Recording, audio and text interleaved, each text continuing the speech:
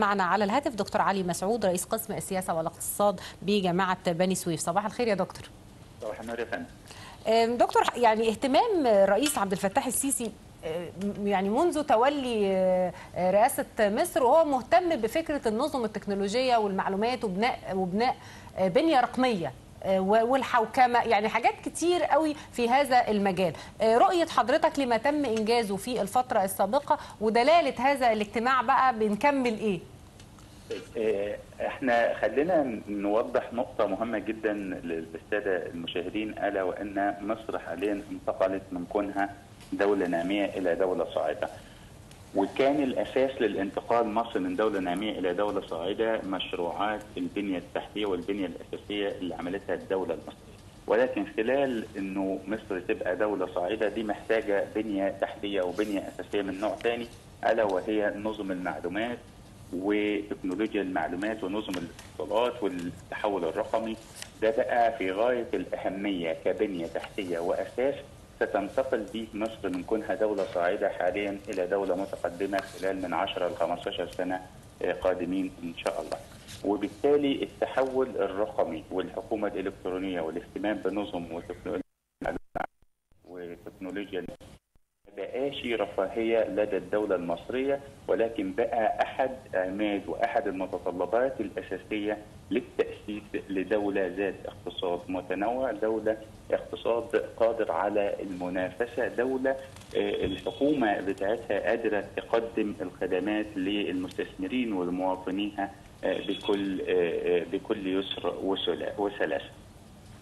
طيب. طيب دكتور إذا سمحت لنا يعني حضرتك تحدثت عن أمر مهم جدا يتعلق بعملية التنمية الشاملة. مصر بتتحدث عن فكرة الرقمنة وإن يكون في يعني التكنولوجيا مستخدمة بشكل مكثف وكبير جدا في مختلف المجالات ده بالطبع إضافة إلى أنه هو بيواكب التطور الحادث على مستوى العالم ولكن أيضا بيساهم في عملية التنمية بشكل كبير. لقاء السيد الرئيس مع مسؤولي أورنج قبل كده كان في لقاءات عدة مع مسؤولي سيمنز يعني أكثر من لقاء مع الشركات العملاقة اللي ليها دور في مجال التطور أو التقدم التكنولوجي، لأي مدى ده بينعكس على خطة الدولة في إطار عملية الرقمنة؟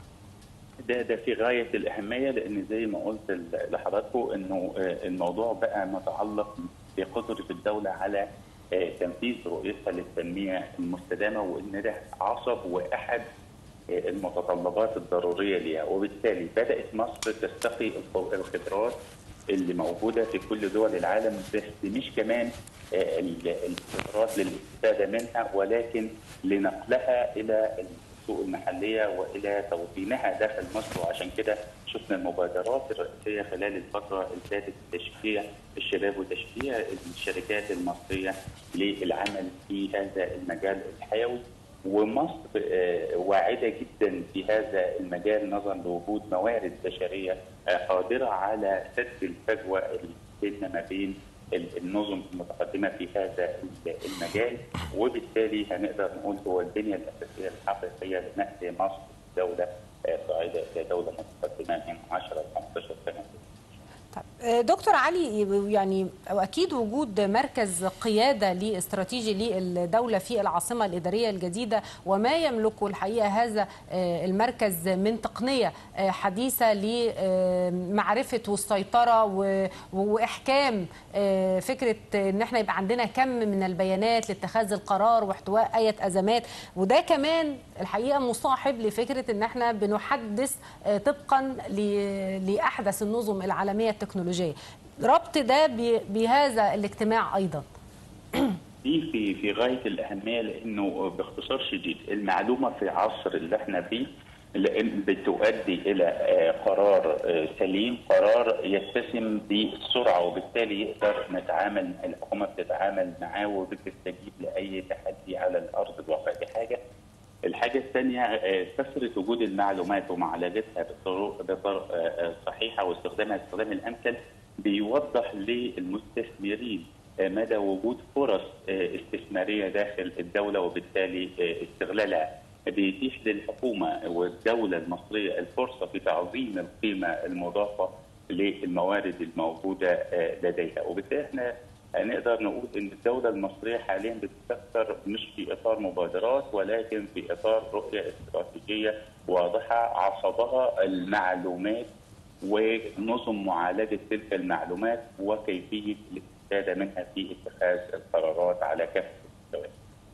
آه، يا دكتور آه، علي يعني يمكن سياده الرئيس كان في اجتماع آخر أيضا مع رئيس الهيئة الهندسية للقوات المسلحة وأيضا وزير المالية وبعض آه، القيادات المسؤولة داخل الدولة. يعني كان في حديث بشكل مفصل عن الموقف آه، التنفيذي للمشروعات المتعلقة بالطرق والكباري والمحاور آه، الرئيسية. أيضا الشبكة القومية للطرق بوجه عام الحديث عن العاصمة الإدارية الجديدة تطوير منطقة ميدان رمسيس. يعني في اهتمام بكل صغيرة وكبيرة وكل تفصيلة تتعلق بتدليل أي عقبات آه، من أجل إنجاز هذه المشروعات. يعني لأي مدى حضرتك بترى أن اهتمام القيادة السياسية آه، بشكل مباشر والحرص على الالتقاء أيضا مع القائمين على تنفيذ هذه المشروعات له آه، أثر آه، قوي آه، ينعكس ايجابيا على سرعة آه، الإنجاز ودقته.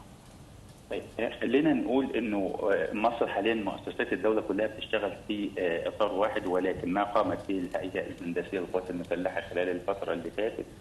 ده التاريخ هيقف عنده كتير جدا.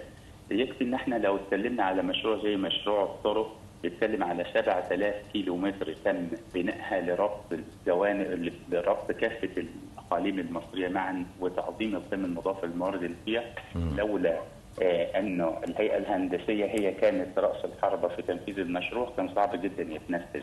وده ترتب عليه نقل ترتيب مصر في جودة الطرق من في سنة 2014 من آه، 100 118 آه، على مستوى العالم إلى 28 آه، في نهاية العام السابق وده معناه باختصار شديد آه، ملف نجحنا نديره بصورة كبيرة جدا وإنه البنية الأساسية هي والمشروعات القومية ومشروعات البنية الأساسية هي نقلت فعليا مصر من من كونها دولة نامية إلى دولة آه، صاعدة. وبالتالي لما إحنا بنتكلم وسيادة الرئيس بيدي توجيهاته للهندسة للهيئة الهندسية للقوات المسلحة للاستمرار في المجهود اللي بيقوموا به ده في غاية الأهمية لأن آه، أسس التنمية آه، لم تكتمل بعد في مصر ومحتاجين مجهود وفكر كل مؤسسات الدولة المصريه خلال الفترة دي. شكرا على الدكتور علي مسعود رئيس قسم السياسة والاقتصاد بجامعة بني سويف كنت معنا عبر الهاتف